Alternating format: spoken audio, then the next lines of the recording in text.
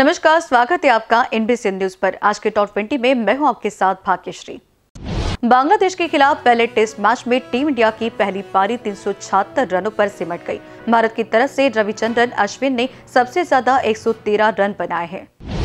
दिल्ली के पूर्व सीएम अरविंद केजरीवाल आज से हरियाणा में चुनाव प्रचार करेंगे। वह आज जगाधरी में रोड शो करेंगे।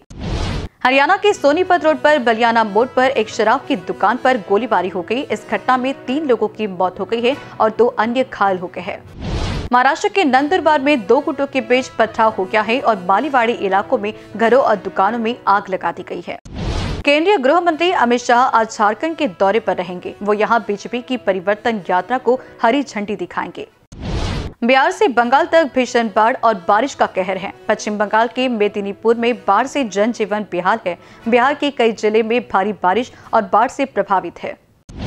कांग्रेस की मध्य प्रदेश इकाई के अध्यक्ष जितू पटवारी ने कहा कि कांग्रेस आज प्रदेश में कृषि उपज के लिए एमएसपी में बढ़ोतरी की मांग को लेकर प्रदर्शनी करेगी।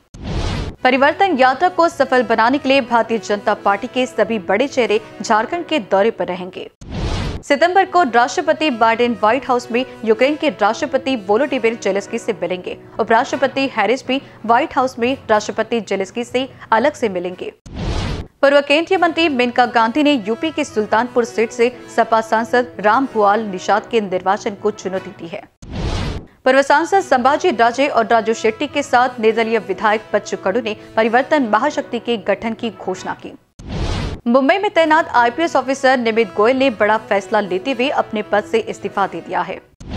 दूल्हे के एक घर में परिवार के चार लोगों के शव मिलने से सनसनी फैल गई है। पति का शव घर में लटका मिला, जबकि पत्नी और दो बेटों की जहर पीने से मौत हो गई।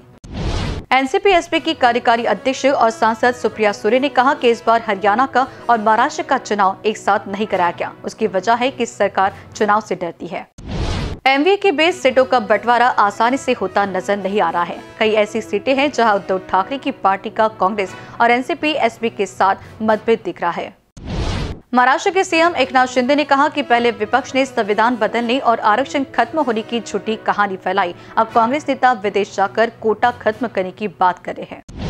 घरेलू शेयर बाज़ार ने आज शुक्रवार को लगातार दूसरे दिन नए ऑल टाइम हाई का रिकॉर्ड बना दिया। कारोबार की थोड़ी सुस्त शुरुआत करने के बाद कुछ ही देर में बाज़ार में ज़बरदस्त रैली रिकॉर्ड की।